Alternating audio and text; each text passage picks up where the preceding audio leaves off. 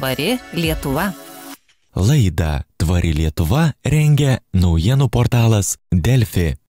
Sveiki žinių radio klausytojai, su jumis eterė laida Tvari Lietuva. Prie mikrofono aš, laidos vedėja Rugilė Matusevičiūtė. Po net 15 metų trukusių dėrybų pasirašytas istorinis jungtinių tautų šalių susitarimas, kurio tikslas - apsaugoti pasaulio jūras. Šį susitarimą aplinkosaugininkai vadina gamtos ir žmonių apsaugos triumfu prieš geopolitiką. Todėl šiandien laidoje kalbame su jūrų teisės specialistu Kristijonu Draugeliu apie tai, kodėl šis susitarimas toks svarbus, koks jo tikslas ir kaip tai paveiks Europos ir Lietuvos politiką. Labas, Kristijonai. Sveiki. Tai aš paminėjau jūrų teisės specialistas, ar ne? Arba vat, prieš laidą kalbėjom, kad gal jūrų teisininkas taip skamba pompastiškai. Tai kas yra ta jūrų teisė ir ką šitos ir tie specialistai daro? Na, iš tikrųjų, jūrų teisė labai, kaip sakant, trumpai turbūt apibūdint būtų sudėtinga. Paprasčiausias turbūt būtų žmogus, kuris užsijama jūromis ir, ir tuo reguliavimu, kuris egzistuoja būtent jūrose. Kalbant, kalbant turbūt reiktų apibriežti, kas yra jūra, tai šiuo atveju tai nuo bazinės, nuo bazinės linijos jūrų plotas, tai žodžiu, kas nepatinka į valstybių teritorijas, yra jūros ir automatiškai tai yra reguliuojama jūrų teisė. Ir būtent toks specialistas aš ir esu. Mhm. Ką konkrečiai mes veikiam? Ilgą laiką jūrų teisės turbūt buvo grinai tokia tarptautinės viešosios teisės dalis, kas būtent rišasi su valstybių tarpusavio santykiais. Tai anksčiau ypatingai tai buvo santykis tarp valstybių, diplomatiniai santykiai ir taip toliau. Tai atitinkamai tokie teisininkai specializavusi, kaip sakyt, atstovavo valstybės. Dabar, kai kuo toliau, tuo labiau tai artėja prie žmogaus. Ir kaip sakyt tiek sričių tiek tiek vietų kur dabar galime įsitelkti su ta jūrų teise ir tais klausimais iš tikrųjų yra labai labai daug Mhm. tai nuo konsultacijų iki žmonių atstovavimo ieškojimo kaip sakant galimybių valstybės priversti labiau labiau susirūpinti apsauga ir ir galbūt iš naujo įvertinti ar laikosi savo tarptautinių įsipareigojimų įvairiausios konsultacijos ir taip toliau. Tai čia toksai tos jūros, kaip, kaip vadinama, tas bendrasis turtas, ar ne? To tie plotai, kaip mes sakom, oras yra bendrasis turtas, nėra, kad tik virš Lietuvos mes savo oro, bet mes ir kitų valstybių galim oro taršą paveikti. Taip ir jūra, ar ne, nu tam tikras atstumas nuo valstybės teritorijos jau tampa mūsų visų tiek, tarkime, Baltijos jūra yra ir Lietuvos, ir Latvijos, ir Estijos, ir mes bendrai turime ieškoti, ar ne, santykių tarpusavį ir įstatymų, kad tą bendrą turtą saugoti. Iš, iš tikrųjų, kaip sakant, jūros nebejotinai yra bendras turtas kiek, kiekvieno ir asmens, ir, ir kiekvieno atskirai, ar kaip ir bendruomeniai, kadangi, kaip sakant, teikia labai labai labai daug įvairiausių paslaugų, nuo transporto iki tam tikrų, kaip sakyt, gamtos reguliavimo, tiek, tiek maistas ir taip toliau, ir taip toliau, tai taip, nebejotinai yra, kaip sakant, visų mūsų turtas ir ir ir valstybės siekdamos kaip sakant jį apsaugoti neabejotinai turi bendrauti ir kooperuotis. Yra tam tikros specifikos kas yra su reguliavimu tam tikros jūros dalys labiau priklauso konkrečiom valstybėm. Tai iš esmės kalbant tą atstumą kuris yra nuo sakykim nuo kranto iki dviejų šimtų jūrmylių tai grubiai tas dažniausiai priklauso kažkokiai valstybei ir tam tikros valstybės jurisdikcijoj yra. Tai grubiai už tą teritoriją atsako būtent ta valstybė tai jos yra kaip sakant interesai ir ištekliai. O kas jau už tos teritorijos ribų už tos už tų dviejų šimtų jūrmylių grubiai prasideda jau kaip sakant bendri interesai ir ir bendros tos teritorijos. Kaip sakant tas reguliavimas kuris bent jau kalbant nes reiktų atskirti kad turim jūras ir jūros dugną. Reguliavimas yra kitoks. Kaip sakant jūros dugnas yra pripažintas žmonijos kaip sakyt bendruomenės nuosavybe kitaip sakant nei viena valstybė atskirai negali uzurpuoti jokios dugno dalies. Yra speciali kaip sakant procedūra ir speciali institucija kuri atsakinga už tą jūros dugną. Ir jau tenai pagal savo reguliacijas ir pagal tuos nustatytus nustatytus kriterijus skirsto ir ir kaip sakant dalina kaip sakant mano sritis visai visai kurioje aš stengiuosi gilintis tai yra jūro dugno kasyba tai būtent čia su tuo ir susiję. Ir paskui kitas reguliavimas yra kaip sakyt jūroj pačiai jūrai kitam jūros paviršiui ir visam tam vandeniui, tai tenai jau vyrauja kaip a, valstybių vadinamos laisvės, tai žvejoti, praskristi ir taip toliau. Tai bet kokiu atveju, norint išsaugoti, tikrai reikia, kad valstybės kooperuotųsi ir šita naujoji konvencija tikrai yra to atspindys, kad be, be kooperacijos ir iš tikrųjų visos, visos tarptautinės bendruomenės dalyvavimo mes labai mažai ką galim padaryti. Tai va, aš ir norėjau klausti, nes tai yra bendras turtas, atrodo visi kažkaip į tą bendrą puodą tiek taršos įdedam, tiek galim prisidėti prie problemų sprendimo. Ir, na, pakalbėsime apie tai, kad net 15 metų truko, ar ne, ir tikrai iš to turbūt ir ateina, nes kiekviena valstybė turi savo interesus, ir aplinkosaugininkai turi savo interesus, ir kiekvienas gyventojas turi į tą bendrą mūsų turtą, kaip jis turi būti saugomas, kokiamis taisyklėmis. Tai tas pats susitarimas, kokia yra jo esmė, nes, na, tikrai aplinkosaugininkai sako, kad čia triumfas ir, ir, ir net ir mūsų eurokomisarės Sinkevičius e, dalinosi, kad tai tikrai tokia istorinė diena. Tai kas tame istoriškume čia, vat, kas, čia, kas čia tokio ypatingo? Iš, iš tikrųjų, kaip sakant, bendra prasme tai yra nuostabus dalykas, kad valstybės sugebėjo susitarti, mes nekalbam apie kelias valstybės, mes kalbam apie visą pasaulį grubiai, kad įsiparei, kaip sakyt, nustatom ir įsipareigojam laikytis tam tikrų principų, į, nustatom tam tikrą procedūrą, kaip galim saugoti, kaip sa, į, į sukurti tas jūro apsaugos zonas, kuriam galim saugoti ir iš esmės kaip galim mes rūpinti. Nes ilgą laiką ir, ir kaip, čia, kaip ir minėjau, atviroji jūra, ji yra po tų laisvių principais, tai yra, kad tu gali grubiai daryti tam tikrus dalykus laisvai, niekas be kontrolės. Ir dabar mes ateinam po tiek metų ir sakom, kad pala jau užtenka, nebegalim taip gyventi, kaip gyvenom iki šiol. Ir, ir valstybės vis, na, matysim, kaip ratifikavimas vyks ir panašiai, bet grubiai šiam momentui valstybė susitarė, kad taip, mes taip jau nebegalim, reikia nustatyti tam, tikras, tam tikrus principus, kaip tai sukontroliuoti, kaip tą.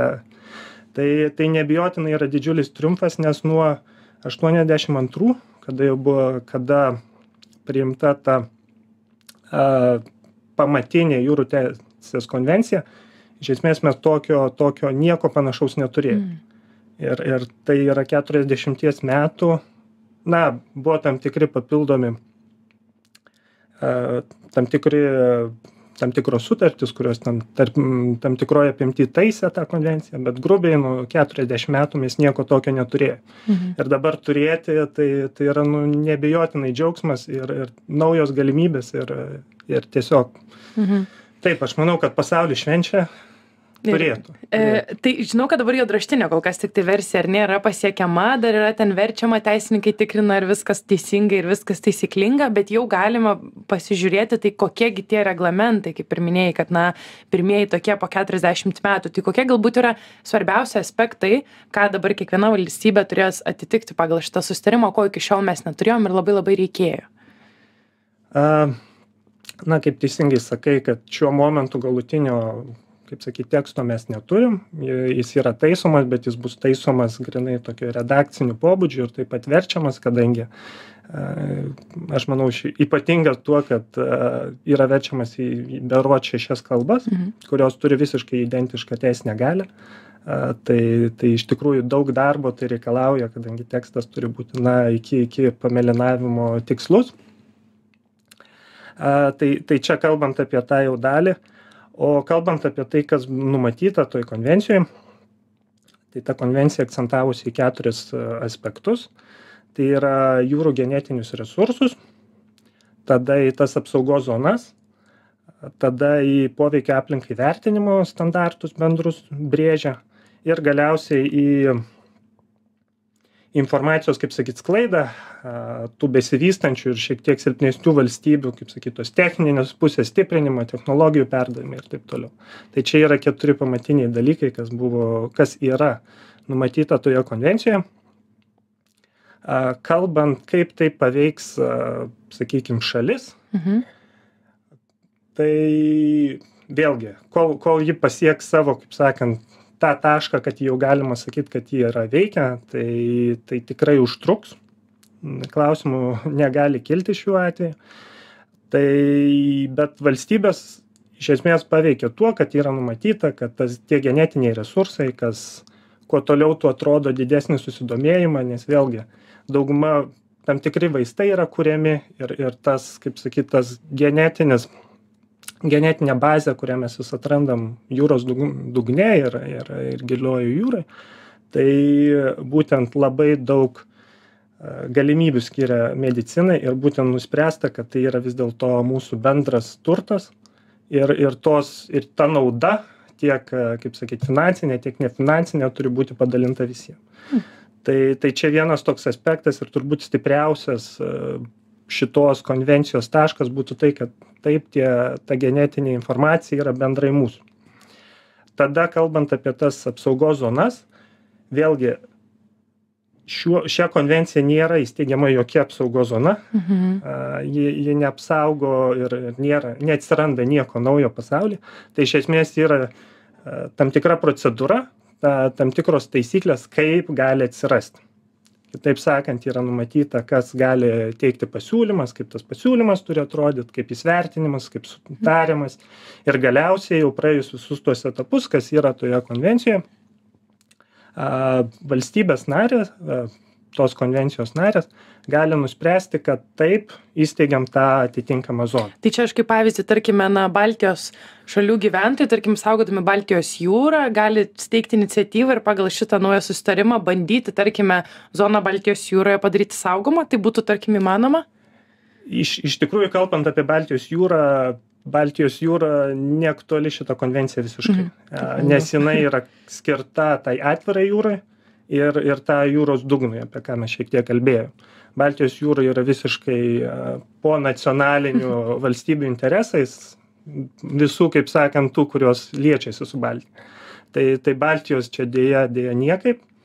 A, Čia, čia jau, kaip sakytoj, atviroji jūroje, bet taip, realiai valstybė gali nuspręsti, kad nori įsteigti, organizuoja, siūlo, a, vyksta konsultacijos ir, ir galiausiai vėlgi, bet tai valstybių sutarimas, niekas nevyksta ankstesnėse versijose, kurios galiausiai, kaip sakant, nublanko, buvo tam tikri interesai, kad galbūt be, be valstybių įsikišimo daugiau būtų galima padaryti, bet šiam atveju tai valstybės labai labai turi dalyvauti ir turi norėti.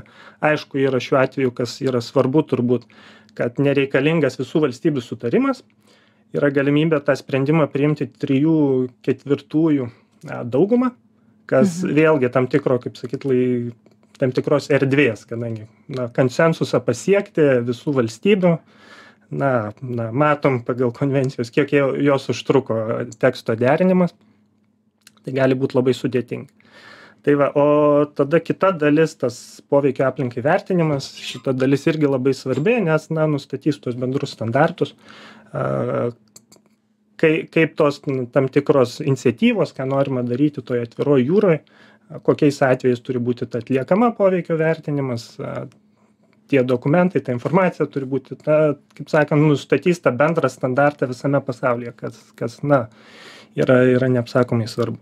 Na, o tas galutinė dalis, na, čia vėlgi, kaip sakant, tos panaikinti tą skirtumą tarp išsivyščiusių ir besivystančių valstybių ir, ir, ir kurios galbūt neturi prieimo, neturi specialistų. Tai kaip konkrečiai tai bus vykdoma, bent žiūrint iš kitų, kitų instrumentų, kurie jau funkcionuoja, na, tai kuriamos ir siūlomos įvairios ten doktorantūros, stažuotės, tam tikri mokymai, seminarai organizuojami ir taip toliau.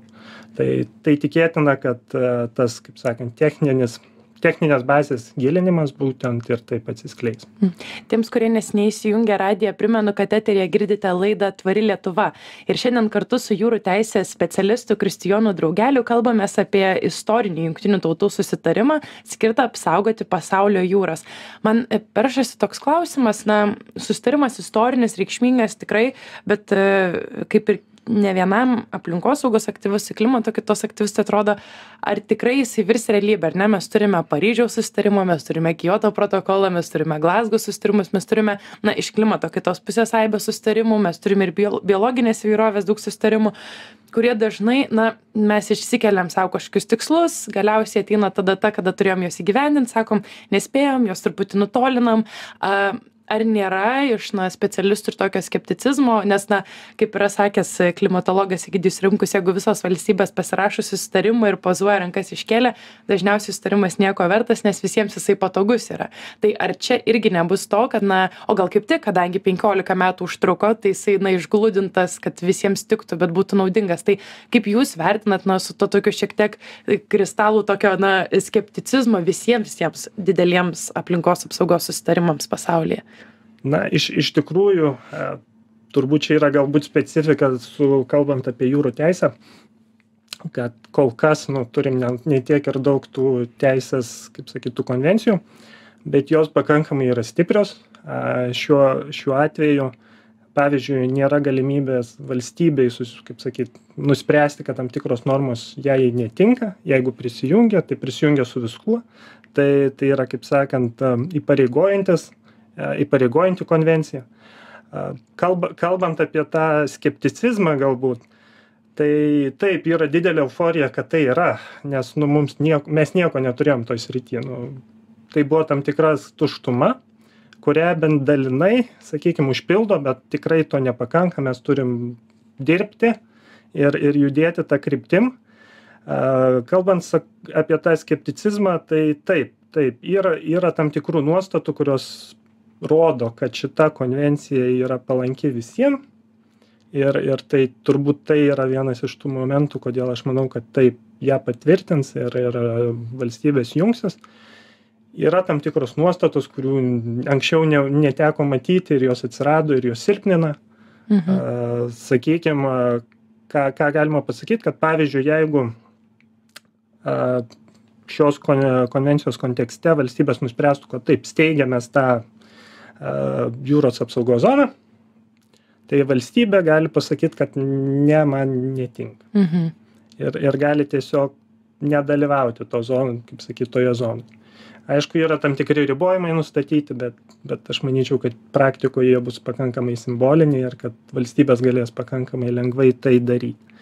Bet vėlgi, geriau taip negu nieko. Čia, čia yra minimalus niuansas, kad na, be to nelabai mes ką turim. Mhm. Gera ne... pradžia pusė darbo. taip, taip, taip. Aš iš tikrųjų diskutavau ir, ir ne su vienu, kuris galbūt šiek tiek skeptiškiau žiūri į tą situaciją.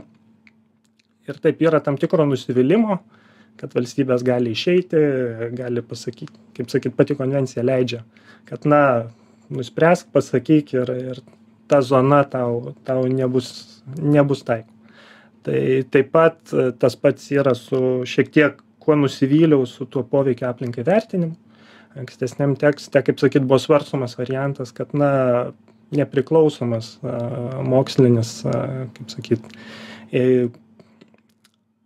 body, mhm. a, žodžiu, galėtų pasakyti, kad ta veikla negalėtų būti vykdoma, kuri planuojama. Kažkoks nepriklausomas vertintojas iš esmės ar organizacija. Nu, ta prasme, yra sukūriamas, šia konvencija yra iš tikrųjų sukūriamas labai didelis administracinis aparatas, mhm. na, pakankamai didelis. Ir viena iš jo dalių galėtų pasakyti, kad, na, pagal tai, ką pateikėt, na, ta veikla neturėtų. Šiuo atveju, valst, kaip sakyt, galutiniam tikste valstybė pati sprendžia. Rekomenduoti, tartis yra to tie niuansai bet galutinį sprendimą priima būtent ta valstybė kuri planuoja tai vėlgi šiek tiek silpnina tą pačią situaciją bet na džiaukimės iš tikrųjų labai džiaukimės kas yra ir ir Mhm. ir ir tos detalės kaip sakyt bus svarbios bet nemanau kad bus ant tiek svarbios aš manau gal svarbu yra na taip ir pakartoti klausytojams ir patiems prisiminti kodėl tokie susitarimai ar ne yra svarbu tai taip gal kažkaip neišsiplečiant į detales bet kelios minutės liko dar pokalbio. Kam mum tokių susitarimų reikia turint omeny na ką dabar tos pasaulio jūros ar apskritai na vandens kokybė visame pasaulyje žinome prastėja. Tai kas yra tie kenkėjai kas yra tos rizikos kad tokie susitarimai yra ir daromi ir iš aplinkosaugininkų labai labai stipriai skatinami ir spaudžiami na kad e, į ką turime atkreipti dėmesį ir ir ir kas yra tie pavojai iš iš tikrųjų pavojų jūroms yra tikrai daug vienas naujai kaip sakyt atsirandantis tai yra jūrų dun dugno kasyba kas kelia didžiulį nerimą tiek aktyvizmo srityje tiek tiek manyčiau ir pačioj visuomenėje mhm. a tada turime kaip sakyt tą nenuilstančią žvejybą kai kai yra kaip sakyt nedarniai naudojami tie ištekliai.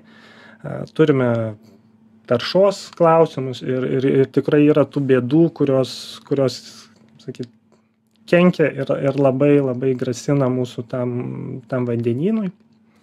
Tai Tai čia turbūt trumpai. Mhm. Dugno kasyba, ar ne? Paminėjai, kad e, ir, ir žinau, kad specializuojasi būtent jūro dugno kasybos temoje. Pati daug apie tai nežinau gal klausytams, na, iš tų kitų pavojų, ten, ten fizinė, cheminė tarša plastikas, mes kaip ir žinom, matom, o kas čia per problema, iš kur jinai kyla ir, ir, ir kodėl tai yra tokia vis auganti problema, kaip ir užsiminiai. Jinai, kaip sakyti, iki šiol ji nelabai egzistuoja ir, ir šiam momentui egzistuoja, sakykime, labai nedidelė dalimi bet po pusės metų turėtų, kaip sakyt, problema pasireikšti pil, mhm. pilnumoj. Tai kodėl tai yra, yra taip pavojinga, nes jūros dugnas yra iš tikrųjų labai nusėtas ir, ir, ir turi tų išteklių metalų srityje. Ir, ir dabar vyksta į, į tą jūros dugną, kel, planuoja keltis atitinkamos uh, mašinos, rinkti tuos išteklius kartu naikinant vis, viską, kas yra aplink. Mhm. Nes tiesiog iškelti tuos išteklius, tuos mineralus, tiesiog be, be to žalos aplinkai yra negalima. Tai jau nekalbant apie garso šviesos ir visą geriopą taršą, apie tas problemas, kurios gali kilti dėl tų įvairiausių, kaip sakyti, įvykių, te, technikos šlubavimo ir taip toliau. Tai, tai čia yra iš tikrųjų auganti ta bėda. Šiam momentui kasyba jūros dugne nevyksta. Jinai paskutinis bandymas iškėlė 4,5, iškėlė 3000 tonų tų, kaip sakytų, mineralų. Mhm. Bet čia yra, yra labai mažas kiekis, tai kol kas toje bandymų fazėje vyksta ta kasyba, bet kol kas į tą galutinę, tą komercinę jį dar netėjo. Tai kadangi labai mažai žinom apie jūros dugną, apie esančią, kaip sakyt, visą, visą gyvūniją ir visą kitą, tai dėl to yra didžiulė baime, kad mes viską sunaikinsim prieš tai, kol mes tai atrasim. Ir, ir tame tarpyje yra ta jūrų genetiniai resursai. Galime mm. juos sunaikinti iki tol, kol jie bus atrasti ir, ir jų svarba yra tikrai didžiulė. Tai tokios baimės, kad mes galutinai sugadinsim sun, sunaikinsim tas mūsų jūras. Mhm. O kaip yra su to dugnu, nes užsiminė laidos pradžioje, kad, na, tai kaip ir bendras turtas, ar ne, niekas negali jos pasisavinti, tai kaip tada, ka, kaip tada gaunama teisė tą kasybą atlikinėti. Čia toks laiko visai nedaug liko, bet atrodo visai svarbus aspektas. Iš tikrųjų yra atitinkama institucija, jūros dugno institucija, kuri kontroliuoja ir jai yra paskirta prižiūrėti, kontroliuoti tą jūros dugną ir jinai atitinkamus kaip sakyt leidžia savo procedūras savo teisės aktus kurių pagrindu valstybės tiek privatūs asmenys tiek valstybės gali prašytis atitinkamų leidimų leidimų išgauti tuos išteklius tai tai būtent tokiu būdu ir tai vyks kaip miniu mhm. šiuo metu tai nevyksta tai yra testavimo vis dar fazė bet artimiausiu metu planuojama priimti galutinius teisės aktus kas įžiebtų žalią šviesą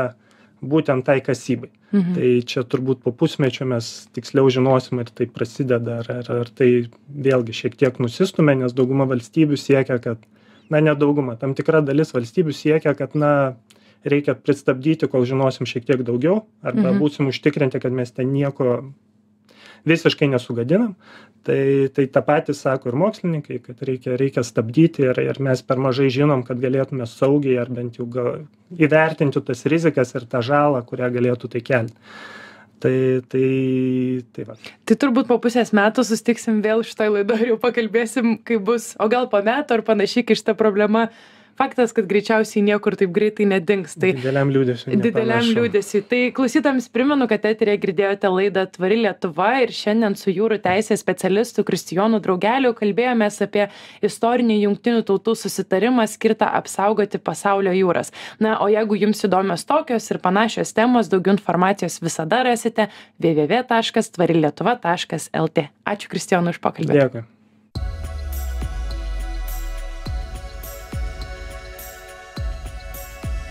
Tvari Lietuva. Laidą Tvari Lietuva rengia naujienų portalas Delfi.